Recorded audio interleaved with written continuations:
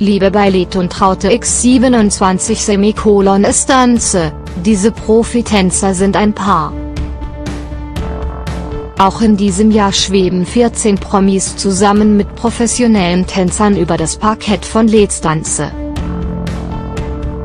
Während des intensiven Trainings und der heißen Performances kommen sich die Tanzpaare des Öfteren ziemlich nah.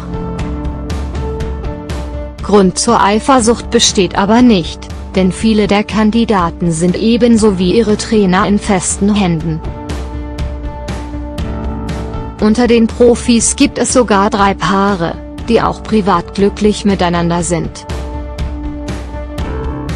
Regina, 29, und Sergio Luca, 35, heirateten im August 2015. Knapp zwei Jahre später machte Söhnchen Lenders Familienglück der beiden Tänzer perfekt. Wegen der Schwangerschaft musste die 29-Jährige im vergangenen Jahr eine Auszeit von nehmen. In diesem Jahr ist sie aber wieder mit von der Partie und schwebt gemeinsam mit Entertainer Thomas Hermanns, 55, über das Parkett.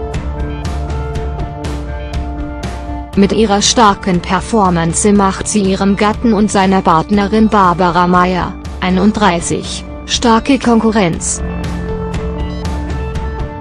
Der schwierigste Moment heute war, dass meine Frau mich schlägt, gestand der Rumäne vor kurzem im Promiflas-Interview. Für Renata, 30, und Valentin Lösen, 31, ist es das erste Mal, dass sie deutsche Promis kochen. Ein paar sind die mehrfachen Europameister aber schon seit vielen Jahren und das auch abseits des Parketts. 2014 gaben sich die Turteltauben in einer intimen Zeremonie das Ja-Wort.